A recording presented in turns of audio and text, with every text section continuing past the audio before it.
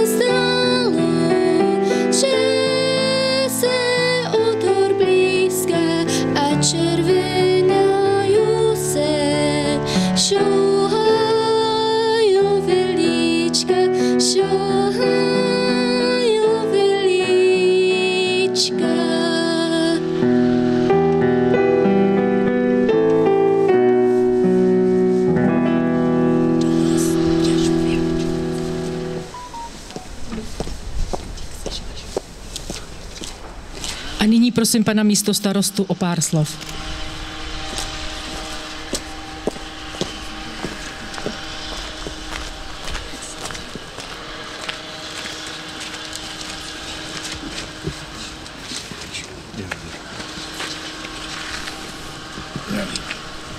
Vážené dámy, vážení pánové, vážení přítomní, dovolte mi, abych pronesl pár slov u příležitosti 170. výročí narození našeho prvního prezidenta. Tomáš Garik Masaryk je jednou z nejznámějších osobností nejen v dějinách českého národa, ale taky v dějinách světových. Většina z nás však toho velikána zná pouze jako prvního československého prezidenta a o jeho celoživotních činnostech moc nevíme. Byl mimo jiné český vědec, filozof, významný pedagog, politik a žurnalista. Masaryk založil náš moderní stát a vdechnul mu ideu, která přetrvala dva totalitní režimy i rozdělení republiky. Dokázal to i díky tomu, že nikdy nehledal cesty k rychlé popularitě, cesty k úspěchu bez práce. Byl opravdu silná a obrovsky schopná osobnost, která si zakládala na svých názorech a to i za cenu toho, že byl odmítán a kritizován širokou veřejností. Za svého života si šel dlouhé roky za svým cílem, prošel si spoustou bolestí, ztrátou svých blízkých, spoustou proher, ale nikdy se nevzdal.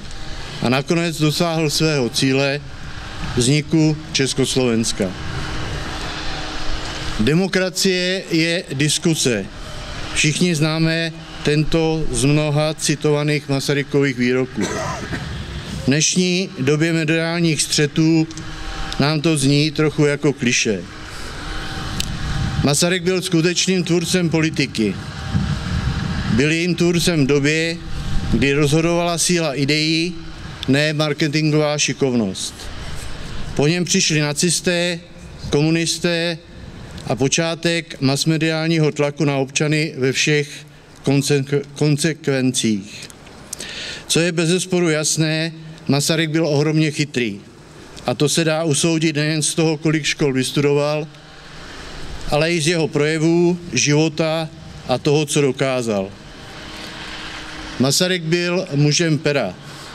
Zanechal po sobě stovky článků, projevů a spisů. Je z nich vidět, že skutečně tvořil politiku, ne, že byl politikou utvářen. Díky tomu jeho myšlenky přetrvaly a my z nich můžeme čerpat ještě dnes. Třeba touto větou. Bez osobní odpovědnosti a odvahy nelze dělat politiku opravdovou, demokratickou a lidovou. Osobní odpovědnost nelze nahradit žádným žebříčkem popularity. Odvaha je pro demokratickou politiku nekonečně, důlež, nekonečně důležitější než ochota přizpůsobit se průzkumům veřejného mínění. Řekni mi, co čteš a já ti řeknu, kdo jsi. To bylo Masarykovo krédo. Co by ale řekl prezident osvoboditel svým potomkům ve 21. století. Myslím si, že bychom dnes těžko dosáhli i dalšího Masarykova výroku. Špatné překonávat dobrým není tak těžké, ale těžko je překonávat dobré lepším. Dokážeme vůbec v této době rozpoznat rozdíl? Jaký je tedy rozdíl mezi politikou před stolety a dnes? Tehdy platilo Masarykovské. Jen ať jsou spory, ale ať se bojuje s rozumem a poctivě. Dnes se politika tvoří často takřka v přímém přenosu. Každá malicherná hádka je vydávána za málem totální válku. Neúspěch za katastrofu. Ideje se nevysvětlují, ale rovnou se útočí na osobu, která s nimi přišla. Děkuji za pozornost.